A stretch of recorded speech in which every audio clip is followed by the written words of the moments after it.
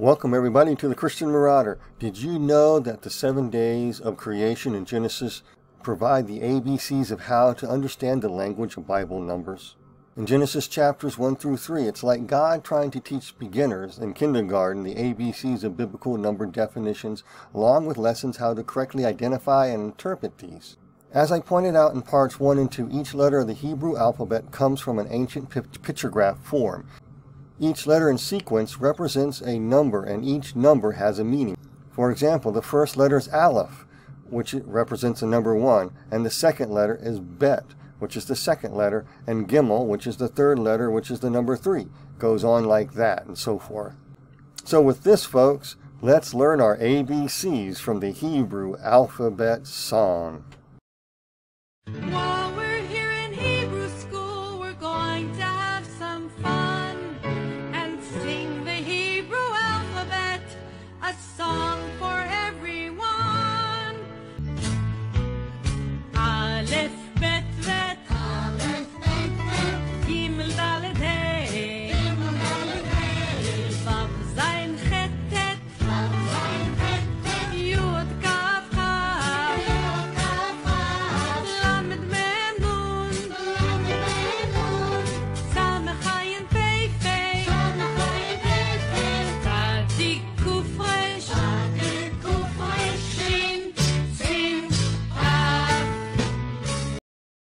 Well, folks, did you like that little tune, the Hebrew alphabet song? That's pretty cool, isn't it? Anyway, Genesis chapter 1 helps define the meanings of the first seven Hebrew numeric numbers. In fact, the number meanings are found in the description of each of the days of creation, all in accordance with context and grammar. And thus, we learn how to interpret the numbers in the Bible and find their themes, which defines their numbers. After that, uh, we're going to look at some key genealogical events like the births of very important people and events that happen throughout the entire book of Genesis that also line up with numbers 8 through 20. Other books of the Torah share the same pattern, but it gets more complex. You first you learn your ABCs, simple words, and more complex lessons as one moves out of kindergarten into first and second and third grades and so forth, etc. After this, I'm going to give you a crash course on how this works from John chapter 4 and the parable of the sower and found in Luke's gospel on a higher grade level so you can see what I mean by grade levels. I will then conclude this video by addressing something that many people are asking me concerning issues of people seeing triple numbers and quadruple numbers like 111, 222, 333, 111, 1212, and these people report that they're driven by these to find some important personal message in these. I would, again, like I said before, let me assure you, neither God nor his heaven-sent angels are trying to contact you in this manner at all. Something more sinister is, and I'm going to show you how to break the influence of being driven to find the meanings of these numbers, okay? At the end of this video. So with that, turn to Genesis chapter 1, and I will be going quite quickly through these really quick here. In Genesis chapter 1, verses 1 through 5 concerns the first day of creation. It says it at the in verse 5. This was the first day of creation.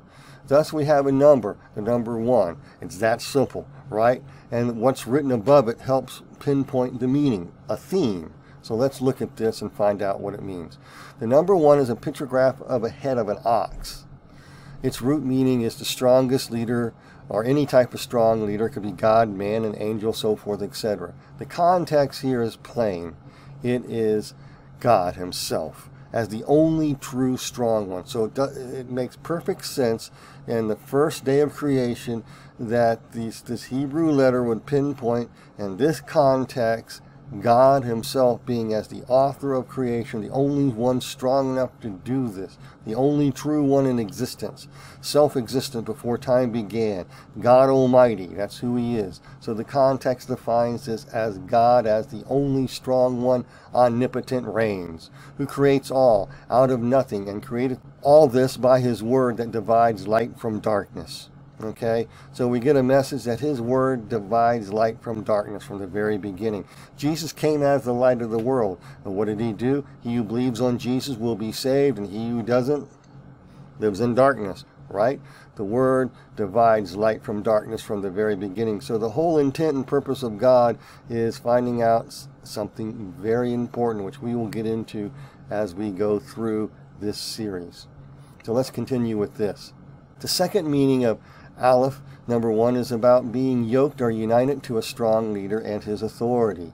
Just as the 24 elders in Revelations 4:10 and 4:11 said from the King James, You are worthy, O Lord, to receive glory, honor, and power, for you created all things, and by your will they exist and were created. I mean, I tell you, those words are powerful because it describes how God omnipotently created all things for his purpose and pleasure. What was that again? Give you a hint. Dividing light from darkness. Some of you who know your Bible already caught on. Some of you don't know what I'm talking about. Stay tuned for more here. Now we go to the second day of creation. That corresponds to the second letter of the Hebrew alphabet, Bet, which is a pictograph of a house or a tent. And its basic root meaning is a household and its number meaning is division. Division to see who's in a household and and not. So you have God who in himself is going to divide light from darkness to see who is in his household and, and who's not. But before he does that, he has a plan. And second day of creation reveals that plan and what it's about. So just look and see if you see these definitions in these in the text itself as you read it yourself we see in Genesis chapter 1, verses 6 and 8, God dividing the firmament from the waters and thus made heaven his house. That's what it says. He made heaven. He divided the firmament and the waters, and he made a firmament called heaven. Okay, do you, do you get the picture? Thus, the waters, as scholars point out, can refer to space itself or literal water or even the abyss or the abyss, which would make sense in light of what Jesus said in Matthew chapter 25, 41 hell was created for the devil and his angels and his minion. Oh, you what we see here in Genesis chapter 2, we have God preparing a place to dwell and setting the terms. Who will be in his house? Hold of heaven are in chaos. I want to leave that as food for thought. Genesis chapter 1, verses 9 through 13 concerns the third day of creation where God moves the waters of earth to their place and dry land to its place and unites to the dry land, grass, and plants. Now notice the letter Gimel is a picture of a leg whose basic root meaning expresses travel, movement, as in moving something around, traveling toward unity of some type. Okay, so you have all this happening. You have the the waters being divided from the land, and you have what's being united to the waters is being united to the waters, and what is being united to the land on earth is the plants. So you have movement, motion, and, and uniting, all expressed in the meaning of the number three as a theme, as a root theme of this. Do, do you get the picture now? Genesis chapter 1, verses 14 through 20 is the fourth day of creation. And the fourth letter of the Hebrew alphabet, remember from that song, is Dalet. Is that of a door, pathway, or entryway. On day four, we see God's creative works, creating the sun, the moon, the stars, and setting them on their pathways for seasons, days, and years. Thus God entered by his works linear time to guide the seasons in his created world, just as the meaning of the number four indicates. A doorway, a pathway, an entryway of creative works that begins something new. So God created something new here, time. Linear time for seasons and stuff. And he, he also placed the the sun, the moon, and the stars in the right place and set their path in order. So you have the meaning of the number four clearly portrayed in the fourth day of creation. On the fifth day of creation, we discover something startling happened. Recall that the root meaning of the fifth letter of the Hebrew alphabet is He, and it is the number five, and it means behold. It means a revelation of some type, something startling. Behold, something is, is happening here, something to pay attention to of some type. And here we see a revelation of life on earth beginning through the creation of flesh and blood animals. Okay? Beginning at that time. Next is the letter Va, which is the sixth day of creation. And on the sixth day of creation, we have more animals created. We also have humanity created. And Va is defined simply as the number for man, which it is. But Va is a picture graph of a tent peg or a nail, with the root meaning indicating what one attaches or secures or hooks self oneself to. So what we, what we see in the sixth day of creation is God making mankind and attaching to man his image and likeness, get the picture in verse 26, in order for him to govern the world by reflecting God's character traits. What do I mean by that? It means reflect the fruit of the Spirit, love, joy, peace, uh, righteousness, holiness, so forth, etc., to reflect truth and, and, and all that stuff, and govern the world and govern the world around you according to the fruit of the Spirit, through the fruit of God's character traits, and walking with Him in the cool of the day in that reflection, okay? Um, doesn't mean that you are another God at all or in a God class, nor does it mean that you're a little God. That's heresy. What it means is to bear the image of God is to reflect his character traits, to be transformed into the image of Christ, like Romans chapter 8 uh, verse 26 and 27 talk about as being uh, able to bear the fruit of the Spirit and govern our world that, that we, we live in, our families, our homes and stuff, according to the fruit of the Spirit of love, joy, peace, hope. Okay, do you get the picture? Righteousness, holiness, understanding, wisdom, and truth. All the fruits of the Spirit.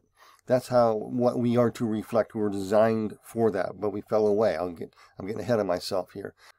So we are to be God's representative in his heavenly council on earth and represent that. That's what we were designed to do, okay? So God attached his image to us to be able to reflect governing by the fruit of the Spirit. And thus God also attaches the animals of the earth to man to govern as his representative, just as the day six strongly suggests and lines up with the meaning of the number six. So at the end of day 6 in verse 31, we see God examining everything he made, and it was all very, very good. And, and the Hebrew word good here means functioning as in well-pleasing, fruitful, morally correct, proper, all in accordance to design and God's order. So he's just checking things out. Next comes the seventh day of creation that's found in Genesis chapter 2, verses 1 and 3, where God rests and sanctifies the seventh day as the Sabbath day. This fits the meaning of the number seven. How? Let's look and explore how. The seventh letter of the Hebrew alphabet is Zayin. It's a pictograph of a plow, which can also be turned into a sword as well. I'll talk more about that later. The context pinpoints the meaning, and here it refers to plowing, as in work, planting, because God literally created out of nothing and then plowed and planted and made the entire universe and this world and all that's in it and set its course, its design, its patterns, saw the plants grow up, saw human beings doing their thing. Everything was functioning, right? Just think about it. So what was God doing? He was going to rest in his perfection that he made. For example, a farmer will plow and he will plant. Then he rests and he watches how things grow. And while the crops grow, he tends and takes care of the crops as needed. That is the idea of how God, who never slumbers or sleeps, rests. He tends to his creation. Okay, do you get the picture? Tell it's the time of the final harvest. Do you get the picture now? When everything is ready for the Hebrew idea of perfection, which means wholeness, soundness, maturity, balanced, a, a perfect state of balance, uh, a, a, in a perfect state of completion. That's what God was resting in. He, now he's going to be tending and taking care of things until the harvest day comes. A lot of meaning that comes from the seventh day of creation when God rests, more than what we think, isn't it? Then notice there is a Mm. major event. A new player comes in, a new genealogical character comes in, and that event is found in chapter 3 of Genesis called the Fall of Humanity. Chet is the eighth letter of the Hebrew alphabet, and its pictograph is of a fence or a petition in a house. It means a separation, is its root definition, to separate or so that people can be brought into a new place. It can refer to a new birth or new beginnings. That's what the word eight mean. So here in Genesis chapter 3, we discover a wall of separation between God and mankind uh, began. A new beginning for mankind began of labor and pain, and sin entered the world, just as Paul writes in Romans chapter 5. Along with God declaring his remedy for this through the sacrifice that he set forth through, by covering Adam and Eve's nakedness with the animal skins. So that God can bring forth a new day when someone will come and crush the serpent's head from the seed of man by paying the price for our sins in our place, all symbolized in that chapter near the end of Genesis chapter 3. So we see the fully, completely, the entire definition of the number 8 of the pictograph of a fence wall, a barrier, and entry into a new day being expressed in Genesis chapter 3. How cool is that? So let's look at the ninth big event in Genesis, the birth of Cain and Abel. The ninth Hebrew letter is Tet. It's a picture of a basket divided in four compartments. And other people have noted it is represents a gift basket divided into four sections. The idea of these gifts is to produce or teach justice or judgment that one gives to another as a gift. Think of the gifts of the, the nine gifts of the Spirit. There's nine gifts of the Spirit, remember? And they're to produce justice and mercy and grace upon the earth. That's what they're for. They're, the gifts of the Spirit are not play toys or playthings. They're to produce uh, justice to a person. If a person is oppressed or some way, wisdom and knowledge and discerning of spirits can all bring justice to them. So the gift basket with its four compartments show that such gifts can come from God, they can come from man, a snake, or the flesh or the world, okay? So you have four compartments. One can come from God, one can come from man, one can come from the fallen serpent, all those fallen angels, or the world, or your flesh, to spread its own idea of justice and judgment of the giver.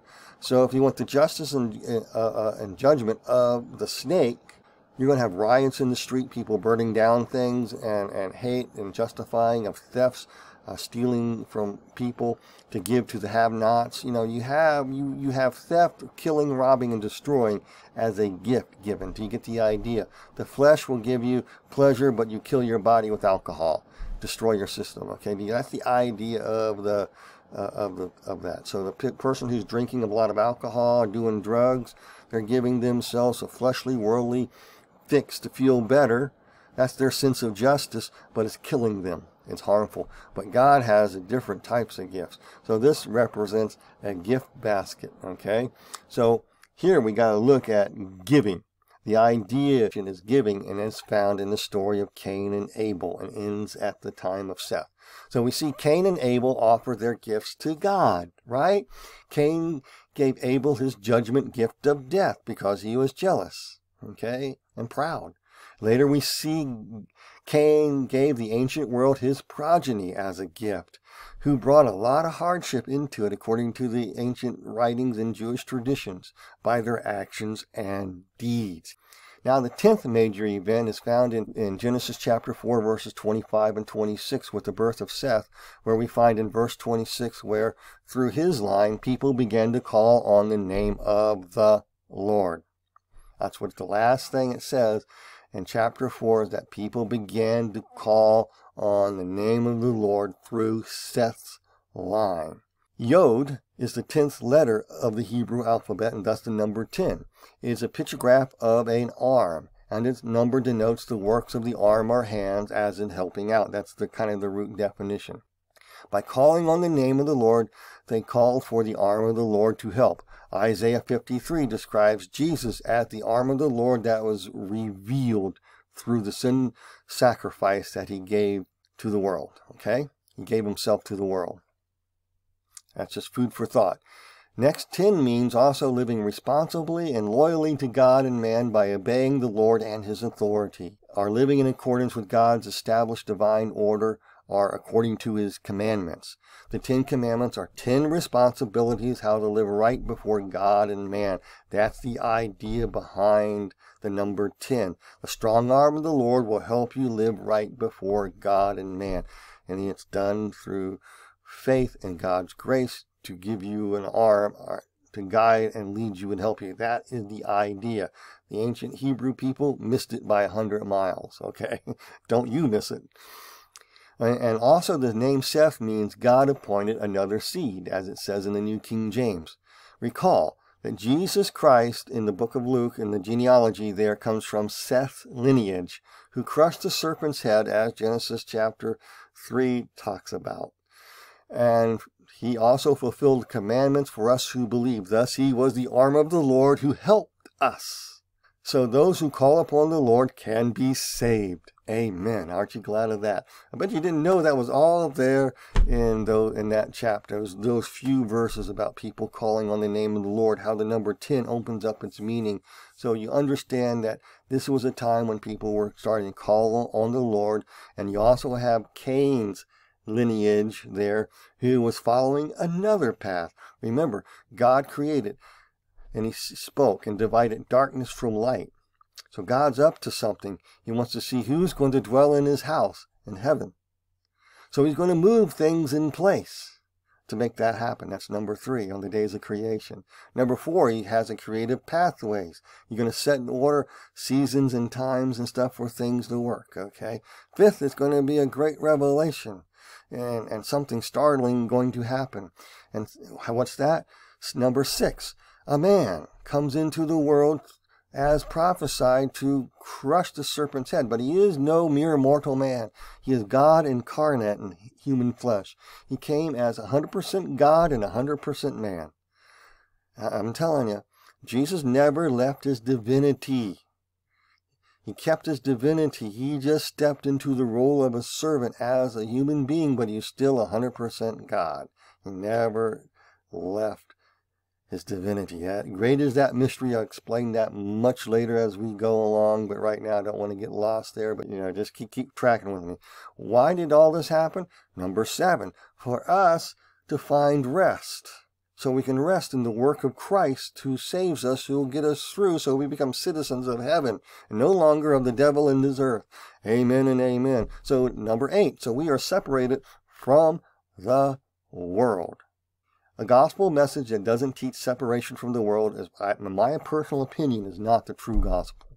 Let's look at the 11th major event that's found in Genesis chapter 6. It's called the days of Noah. Very important here. And number 11 means this the mystery of darkness that covers the world and makes it live irresponsible and in a state of chaos. It brings chaos to God's order and wants to crush and destroy it. It's a mystery it's the occult workings is what it is. The mysteries of darkness. The occult workings. And guess what? We see that in the text in Genesis chapter 6 concerning the fallen watchers and the Nephilim that taught humanity the dark arts, like the ancient writings, first Enoch plainly reveals these watchers taught sorcery. Do you, again, do you see how these major events begin to line up with the definitions of the the meaning of the numbers to produce what we call a theme in the Bible. So you'll get the correct definitions.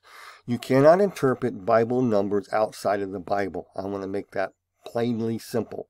You cannot see numbers like 222, 333, think there's some secret definition. Are you seeing two or three? God's trying to speak to you something. That is the world of the occult. That's the dark arts. Stay away from it. I'm trying to help you. You only can interpret the meanings of the Word of God by the Word of God. Okay?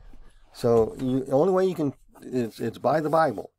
It's like here, you got to find the numbers in the Bible, the context, grammar, Hebrew grammar, even in, you have to think Hebrew in the New Testament. You can't think Greek. Forget that. Won't work. Everything relies on the Hebrew grammar, the Hebrew text, and the themes that are found in here to interpret the numbers correctly.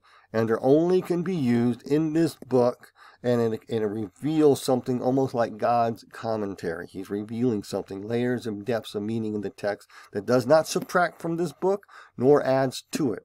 It just gives you insight. No different than, um, let's see, uh, um, R.A. Torrey or, or Dwight L. Moody giving their own commentary on a chapter, or R.E. Rye commentary, or any other commentary out there, Guzik's commentary on the Bible, or Utley's Bible commentary. No different than that. Someone looking through the scriptures. But here, well, through the biblical numbers, was you get what I call God's commentary, and the numbers just bring out the commentary definition. You cannot find secret messages in this. You will not find winning the Powerball numbers in it. You will not find your destiny in it. All that's the occult. That is the mystery of darkness. Okay? And I guarantee you, if you try, uh, you'll get in under the hook and attach yourself to fallen watchers masquerading as angels of light. Boy, I want to get off that rabbit trail right now. Let's get back to, to the 12th major event. I'm just going through a few of these. The 12th major event is found after the flood where God spoke to Noah and his sons in Genesis 8.20 through Genesis 9 through verse 14. Why do I say that? Well, 12 in biblical numbers means harmony, the harmony of governing order or, and the setting up of representative leadership that everybody's in harmony with something or someone. So here we see in these verses where God reestablishes man's representative leadership on earth, albeit in his fallen state. Read uh, Genesis chapter 8, starting in verse 20, all the way through Genesis chapter 9 through Genesis 14, and you'll see God reestablishing representative leadership. And next is the number 13. And number 13 means apostasy, depravity, rebellion, outworking of hubris, where one becomes enemies of God or enemies of each other or so forth, etc. So the 13th major event comes when? At the time of Nimrod in the Tower of Babel, where humanity disobeyed God's command to go forth into all the world, but rather apostatized, fell away, and stayed together on the plains of Shinar, where they fell away from God. Guess what? And with hubris built the Tower of Babel. Thus they rebelled, fell away, and apostatized. I got to tell you, all this does not appear to be some cosmic accident or something I'm pulling out of the air. Uh, it looks to me like God wants to teach us the ABCs on how to recognize His fingerprints in the numeric language of numbers that are found in the Bible, which identifies the author of this amazing book as God Himself who inspired it. Okay. I'm not making this up. When you under, unlock the meaning of numbers and you explore God's commentary in it, you, you just sit back in utter amazement and go, wow, wow, God, this, this is amazing, but God is real. Jesus is real. The whole thing is real. Wow. And you fall on your face in the state of holiness and, and a wonderment of the Lord, folks. I tell you, it is the truth. That's what happens. So with that, folks, I want to jump ahead and show you how the subject algorithm and a more advanced level of learning, say fifth or sixth grade, maybe even third to fifth, sixth grade level reading, is found in John chapter 4. So you understand how the subject algorithm works. And by using the same numbers according to the context and the themes that we established in Genesis, you'll see how this all works. So we're going to look at this algorithm that's found in John chapter 4 with the woman at the well. And we're also going to look at the parable of the sower. So let's look at this. So we have Jesus, who is this only strong one, the Word who created all the worlds in the universe. Have Jesus, the strong one, coming to a well, keep everything in order. Jesus came to the well, and the woman came to the well. So you have to keep everything in order. So you have Jesus, the only strong one, came to a well. You have, you have Jesus, a subject. You have a well, another noun, and you have the woman. You have three nouns there. Think of nouns. You have Jesus, the strong one, came to the well. Okay? So you have the strong one, Jesus, and he came to a well. Why? Number two answers that. He wants to uh, see who will be in his house and who's not. The whole purpose of, of the Lord is to divide light from darkness. In the very beginning of Genesis, it says that. He wants to build a household and he wants to see who is going to be coming into it willingly and who will not come into it willingly. Those who come into willing by simple belief enter in his house, and those who will not will find themselves with the devil and his minions in the lake of fire for all eternity. Okay, which house do you want to belong to? So he comes to the well, the place of waters, You can either have living water that the Lord gives of the Holy Spirit that wells up the eternal life, or you can have the well of the world. Okay? Get the picture here, what's going on. So you have Jesus the strong one coming to the well to see who will be in his house and who will not. That's the idea. Then you have the third one is the woman. And so from the numbers, we see that the Jesus, the only true strong one, came to the well to draw out those he invites into his household from those who who are not. I mean, they, it's all willingly here, and that's the meaning of the number two. To do so, the father drew the woman to him, moved her to travel and come to the well at the particular time Jesus was there. And three means to move toward unity, and in this case, move to unite to the household of God through Jesus Christ, the living Word of God, at the well of living water. The woman was an outcast because she had to draw water at the hottest time of the day away from the other woman. So that's already been established in many Bible commentaries. You don't need me to reiterate that. And the reason that she was an outcast had to be dealt with, and Jesus does just that. Because people have been cast away from the presence of God, right? And we and the Lord knows how to deal justly through the gifts of the Holy Spirit to bring justice to the woman who's an outcast. He wants to bring that to you too we find Jesus asking next about her husband, and she answered in truth, and Jesus told her that she had five husbands already, and six is not her husband. Remember? So we have the numbers five, and another one added there that equals six. And I'll explain this. Recall five means the revelation of grace or judgment. So we see that this woman was trying to find grace in one failed relationship after another through five husbands. I want to ask you, that's God's commentary, not mine. How human is that? How many people in this world do we want to deny that that happens? That people try to find grace and escape judgment or whatever type of judgment through one failed relationship after another? How human is that? The Lord walks down and wants to draw people in these type of situations into his household and find grace. Maybe that's you. Well, Jesus next said, the one you live with now is not your husband's. So the woman was seeking a strong one in order to escape judgment and find grace in the village. This tells me that the guy that she was shacked up with had to be one of the elders of the city. Why do I say that? Because according to the Samaritan law, which mirrors the Jewish law, we find that said in this very passage where they have two temples, two sets of laws. If you're caught in adultery, you're stoned to death. In order to escape being stoned to death for committing adultery like this woman was doing by shacking up with a guy, this guy had to be a head honcho in the city to avoid that. If that was some common Joe Blow, uh, Johnny come lately type of guy, she would be stoned to death along with the guy. Okay? That's how I know this because it lines up with the culture and the time frame and the law. That's how you use Bible numbers. They have to line up with certain things. So she was in one failed relationship, seeking a strong one to give her support to escape judgment and find grace. And, and guess what? She had to live as an outcast, but she was with a strong elder of the city. Probably the guy who she talked to who came up and first met Jesus. Most likely that's the guy. Can't prove that, but I highly suspect it. I highly suspect that's the case. So you add five and one together, you get six. And six is one not her husband.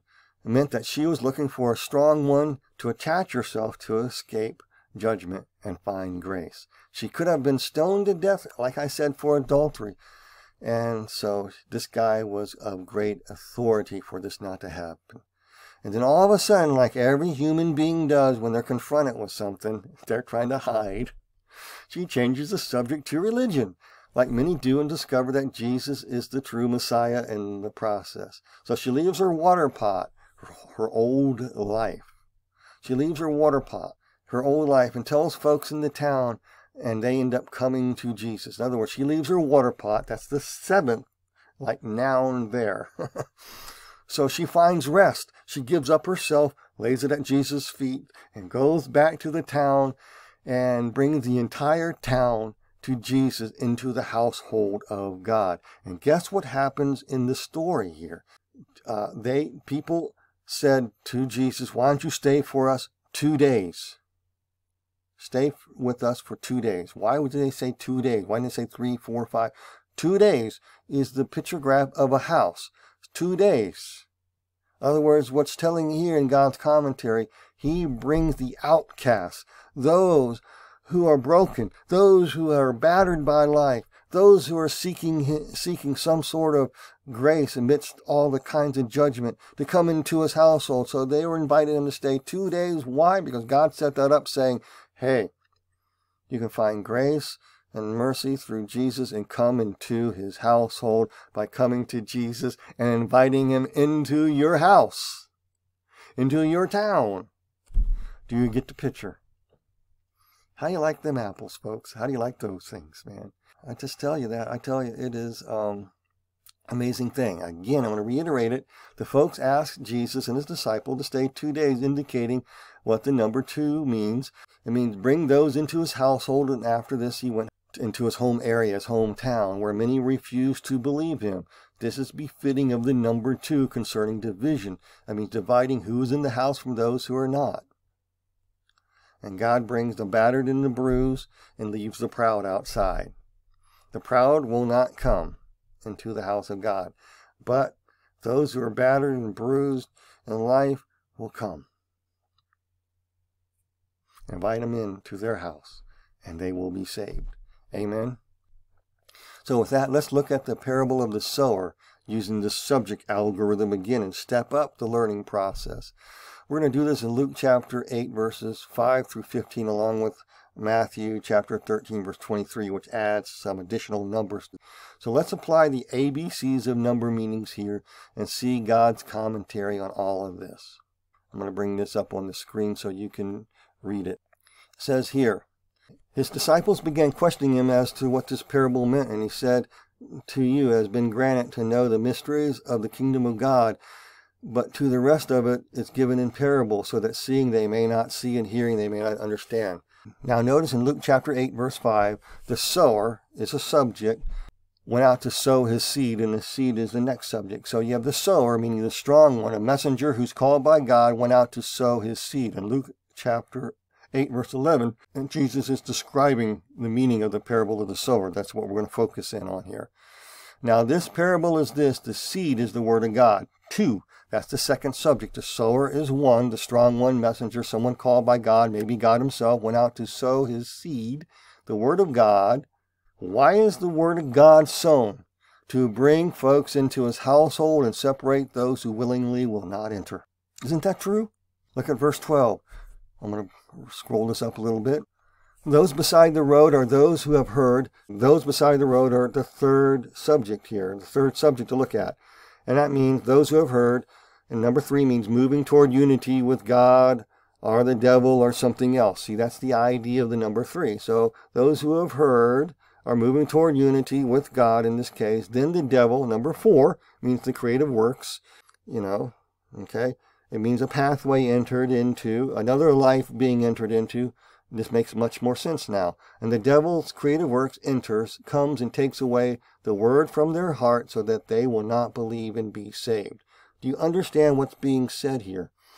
Those beside the road who have heard are moving toward unity of God, but then the devil's creative works pull you away and open you another pathway so you uh, do not believe the word and are saved. You're pulled away from it to the devil's creative works. Just let your mind roll on the devil's creative works, or kill, rob, and destroy, and make you enjoy the process. Just think of alcohol, drugs, think about sex, rock and roll, think about whatever it is. I think you get the picture of the devil's works, folks. I really, really do. Okay, let's look at verse 13. Those on the rocky soil are the fifth subject matter here. And it says, and number five means, behold, receive a revelation of God's grace. That's the context here, receiving the message of God's grace. Those on the rocky soil that behold and receive the revelation of God's grace are those when they hear, receive the word with joy, and these have no firm root. They believe for a while in a time of temptation. The word temptation means testing and trials. They fall away. The word fall away means drawn away as into revolt. Okay? So those on the rocky soil receive the word with joy of God's grace. They believe for a little while, but in time of testing and trials come up, they draw away and they revolt because their hearts are rocky. they have not received the word. Okay, do you see? Because they revolt. Just letting you understand what it means here. Verse 14. The seed which fell amongst the thorns, remember, this the sixth group here is the seed which fell among the thorns. Is the root meaning is what man attaches himself to. These are the ones who have heard, and they go on their way and are choked with worries and riches and pleasures of this life and bring no fruit to maturity. Why? They attach themselves to the worries and riches and pleasures of this life, and the Word of God is choked out of their life. They love their riches and the worry and the anxiety and the riches and pleasures of life more than the Word of God. They're not having the separation going on in their heart that's required of the Word of God. See, the Word of God does what? See who's in the house and who's not. So the Word is sown to see who's in the house. So the Lord's showing first who is not in his house. Remember the sower, the strong one, the Lord God has a messenger comes, he sows the word of God. That's number two subject, which means separation to see divide, to see who's in whose house. So you have three characters here who are not entering in and, and they explain why they don't enter in. So let's continue here. The sower sowed the seed, the word of God. Why? To sort out those who will reside in God's house from those who refuse. Look at verse 15. But the seed in the good soil are those ones, and this is the seventh subject, the, the seed on the good soil. The good soil are the ones, that's number seven, and that picture of a plow, who have heard the word with an honest and good heart and hold it fast and bear fruit with perseverance. Remember, the idea of a plow is to break the ground, plant the crops or the trees in the vineyard, tend to it until it grows. So you see that principle right in here. Who hears the word with an honest and good heart, holds it fast, and bears fruit with perseverance. The whole idea of number seven, bringing into a state of perfection, completeness, wholeness, and soundness is brought out in that verse. So again, recall that the meaning of seven is about plowing and tending to a crop that is planted. Thus, those who have the good heart, the good soil, have been plowed by God's word and the Word of God grows to maturity to complete the person, make them whole, sound, mature, level headed, balanced, in a state heading toward God's perfection. This is what the Word of God does in the heart. It grows one to maturity, not to more wackiness and craziness. So, folks, in Matthew chapter 13, verse 23, we find that the book of Matthew records some things that are missing that Luke did not explain and, and it reveals further numeric meanings and insights into the text. So let's look at Matthew chapter 13, verse 23. And the one whom the seed was sown on the good soil, this is the man who hears the word and understands it, who indeed bear fruit and brings forth some hundredfold, some sixty, and some thirty. So I look at those, and right there I go, I, I have three sets of numbers. So I go back to the Hebrew uh, alphabet, I know what the pictographs are. I know the root meanings. I know the meanings of them. That explains what the fruit they're producing consists of. Okay? How many want to know what the fruit, uh, what God wants us to produce? Right there, it tells us in those numbers. So for those that hear and understand are described further by the meaning 100. 100 consists of the Hebrew letter Kaf, a picture denoting either the rising of the sun or the setting of the sun for death. In other words, the rising of the sun to life or the setting of the sun for death. Um, has a definition also indicates what follows or soon to break forth that reveals who the children of God are and who the children of the devil are. That's what the kind of the themes that the number 100 is found in here. It's all it's found all throughout one's lifetime. It's about lifetime and, and the knowledge gained from life and what you do with it. So those who hear and understand are described further by the meaning of the 100, who bear fruit during their life that reveals that they belong to God. In other words, they are rising and going through life showing that they belong to God by their conduct. Okay? They may not be perfect. If they make a mistake, they repent, they ask forgiveness, and they move on. Okay? They've learned to walk humbly before God and do what is right before God and man, despite their mistakes. In other words, they understand mistakes are made so we can learn from them. Okay? Just saying. So, what type of fruit is described in the meaning number 60? So, let me scroll this up so you can see what it means. Number 60 is the Hebrew letter Shemah is a picture of a hand or a staff. That's what its pictograph means. It means to support or prop up what one relies and leans on the most. Either some authority structure or you can the devil you can rely on God. Okay? It's a it's a it's a picture of a staff and what man leans upon. That's what the idea of it is. It's your hands on a staff. It's what gives you your support. So you prop up, you rely on something. The type of fruit described by the number 60 is the fruit of leaning and relying on who the number 30 reveals. And the number 30 is the Hebrew letter Lamed, which is a picture of a shepherd's staff. Or it's a picture of the good shepherd who guides one heart. Thus, 30 relies on the shepherd and his staff who moves, guides, and protects the heart and controls us by leading the sheep, who are sealed by the blood of Jesus, fastening one to the shepherd of their souls. That's the idea of 30. 30 is all about the shepherd staff used to guide and control and direct you. It's also a picture of a shepherd. It could be the devil could be your shepherd, a man could be your shepherd, God or God to be your shepherd. But in this case, it's referring to the Lord, the good shepherd, who Jesus is called the good shepherd, and letting his staff lead and guide and direct your life and and come, go after you and put that little hook on it when you start to stray away. Aren't you glad that we, we serve a good shepherd, that when we stray away, he goes after and he brings them back to the fold? I'm glad I serve a living Lord who does that. So let's look at, I'm going to bring this up on the screen, uh, Luke chapter 8, verse 5 and 12 through 15 with the, um, the scripture of Matthew added in so you can hear God's commentary on this and what he's saying in the parable of the sower through the use of numbers, if you know how to use the subject algorithm, as well as what number meanings that are brought out in Matthew chapter 13, verse 23. So let's read. The strong one, God through his messenger sows the seed, to the word of God, to bring folks into his household and separate those who willingly will not enter. Why? To move folks toward returning to unity with God. But those on the pathway of the road move in unity to the devil's creative works, which snatches away the word from their heart so that they will not believe and be saved. Those on the rocky soil behold and receive a revelation about God's grace and judgment are those who, when they hear, receive the word with joy, and these have no firm root, and believe for a little while, and in time of temptation, testing, and trials, they fall away. They're drawn away as to revolt. And the seed the word of God which fell amongst the thorns, the seed, the word of God that fell amongst the thorns, these are the ones who have heard as though as they go on their way, attaching themselves to worries consisting of riches and pleasures of life, and bring no fruit to maturity. Thus they choke the word, kill it, strangle it, reject and abuse it, and use it for appeasing their, their worries to gain riches and gain the pleasures of this life. Verse 15. But the seed on the good soil, these are the ones who have heard the word, okay, that grows in a well plowed, honest, good heart, and holds fast to the word and bears fruit with perseverance to maturity, wholeness, and soundness. So let's add in Matthew 13, verse 23.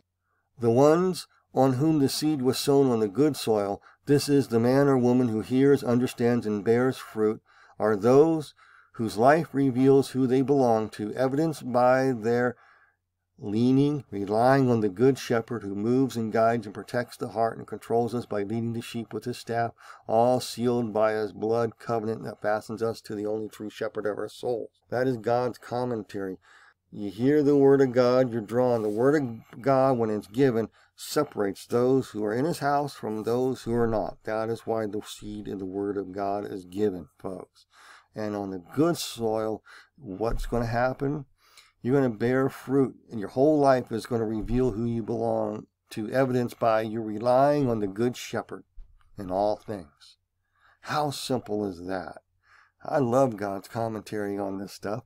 It really is, it adds a dimension to it that is just astounding, folks. Just astounding. That's what I say. It's just outstanding there. So, folks, as you can see, this does not take away from the Bible at all. Instead, it only provides what I call a commentary in the layers of meaning in the text. No different than any commentaries written by men, but this one is more like a divine fingerprint from the true author of, of, of, the Bible, God Himself, on this matter. So let us conclude with this, like I said, as I mentioned in the beginning, about people who see triple numbers in overabundance or quadruple numbers, and they're driving you bonkers. If that's you, stay tuned, because I'm going to address this right now. With this, I'm going to ask folks, are you seeing repeating numbers like 111, 222, 333, 444, 555, 1111, or 1212, so forth, etc., etc.? Have you thought that God is trying to tell you something or some sort of angelic host is trying to give you some sort of secret message? I want to tell you something. The answer is no, like I said before. For example, in Chaldean numerology, the meaning of 111 means a spirit guide is trying to contact you. I'm just giving you a rough summation of it.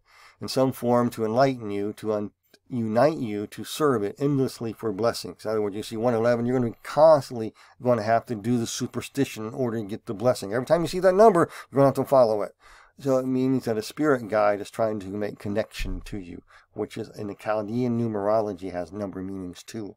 And you find those out, and they're not trying to tell you something. They're hoodwinking winking you. They're trapping you into a life of superstition and slavery to follow after these stupid number meanings that they apply.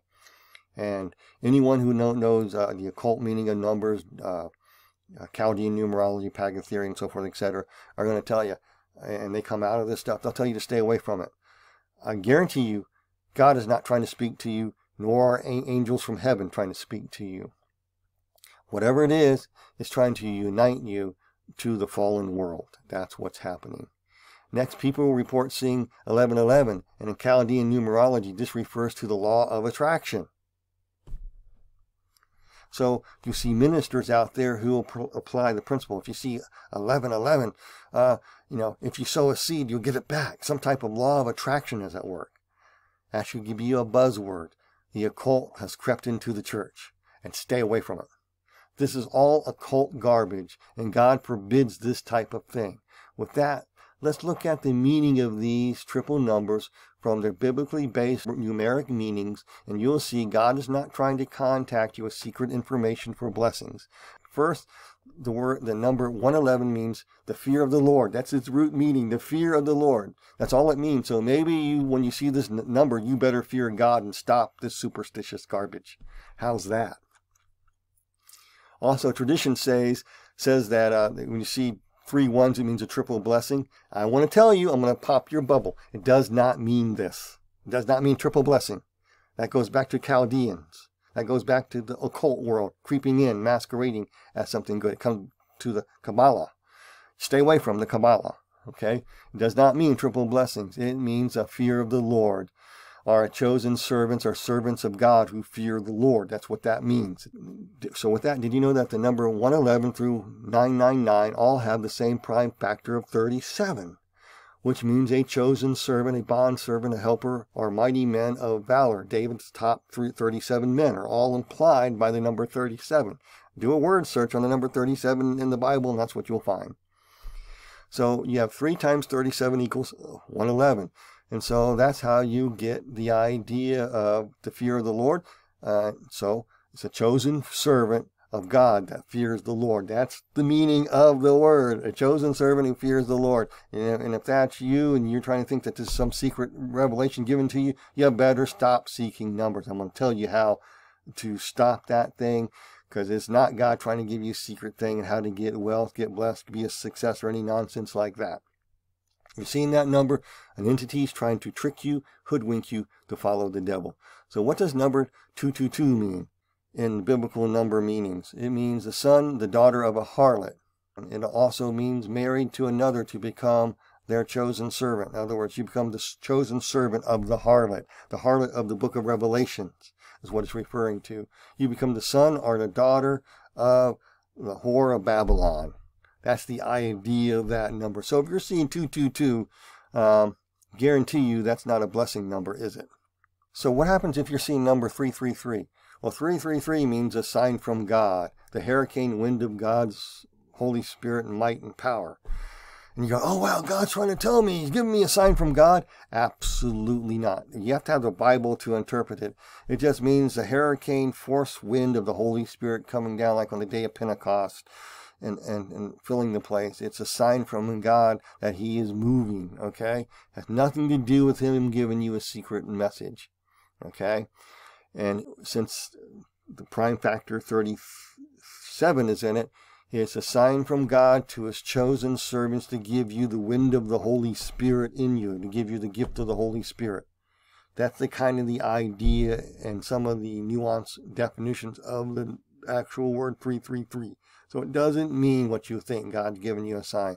It means that he gives his chosen servants the wind of the Holy Spirit. That's basically uh, the a good way to look at that word without giving you all about five different nuances of meaning in the time I have. Number 444 means wealth. Oh boy, people get excited. I'm seeing 444. Oh, it means that wealth is either given by the son of a, or daughter of a harlot, or that God has blessed you to be his servant. That's the idea. It has nothing to do with any secret message, nor is God trying to tell you anything other than that.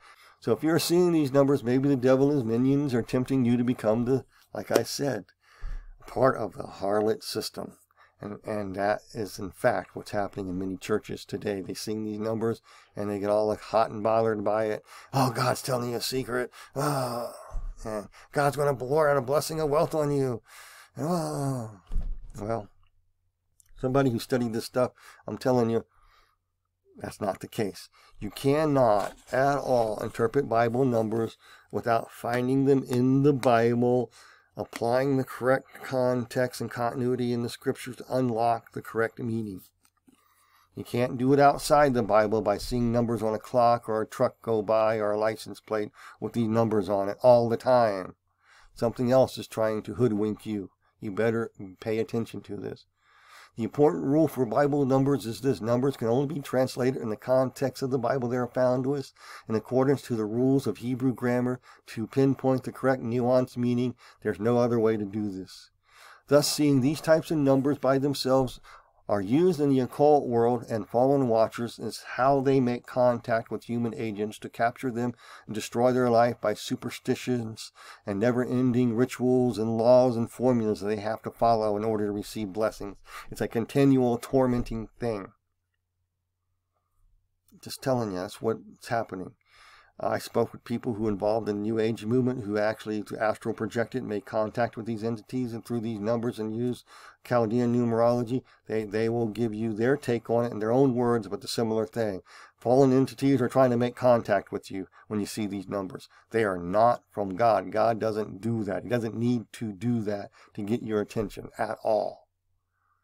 So what about the quadruple numbers like 11, 11, and 12, 12? What do they mean in Bible numbers? Um, the number 1111 means fellowship of believers is few and far between, and their works show it. The prime factor of 1111 is 11 times 101. In fact, 11, 11, 12, 12, 14, 14, so forth, etc. all have the prime factor of 101. And, and 101 means rebels cast out.